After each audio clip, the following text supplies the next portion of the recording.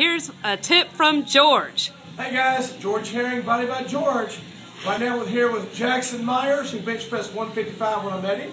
And now we're doing what's called a band bench today, one of our overload techniques.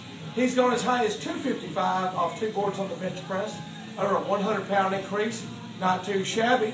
But today we're doing band bench press, one of our many overload techniques. So what this is designed to do is overload, yet protect the chest at the same time, and make his lockout strong when he's playing, so he can knock people off the ball. So, no further ado, here's Jackson Myers doing what's called a band bench press. Set, up, come on buddy, go, up, good, one, up, good, two, up, good, three, up, good, up, good, and right, good. And there you have it. We had 18 kids sign last year scholarships. So if you want your kid to play at the next level, come on down to Body by George.